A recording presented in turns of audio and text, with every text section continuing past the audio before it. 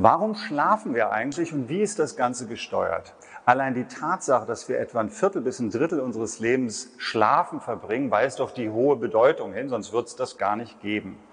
Schlaf bedeutet erstmal für den Körper Erholung und Regeneration. Das bezieht sich auf viele Organsysteme und auf Zellebene.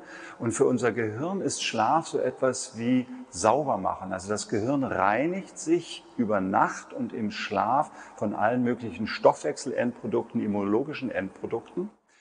Wie wird das Ganze gesteuert? Dabei spielen vor allen Dingen zwei Substanzen eine ganz besondere Rolle. Das ist der Neurotransmitter Serotonin als erstes, auch bekannt als Glückshormon.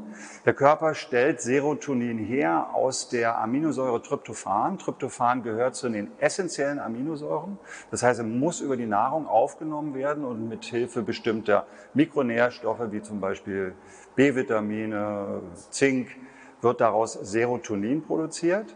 Sobald es dunkel wird, wird Serotonin in Melatonin umgewandelt. Und je mehr Melatonin im Blut vorhanden ist, desto müder werden wir und desto besser schlafen wir auch ein.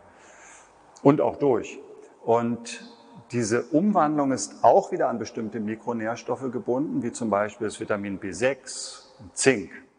Die Wirkstoffkombination in Nightmaster bewirkt jetzt, dass genau dieser Rhythmus zwischen den verschiedenen schlafsteuernden Hormonen ein Stück weit harmonisiert wird, wir damit wieder besseren Schlafrhythmus entwickeln können und damit auch erholsamer schlafen, sich die Regenerationsfähigkeit im Schlaf verbessert und wir damit auch wieder wacher und frischer in den Tag starten können.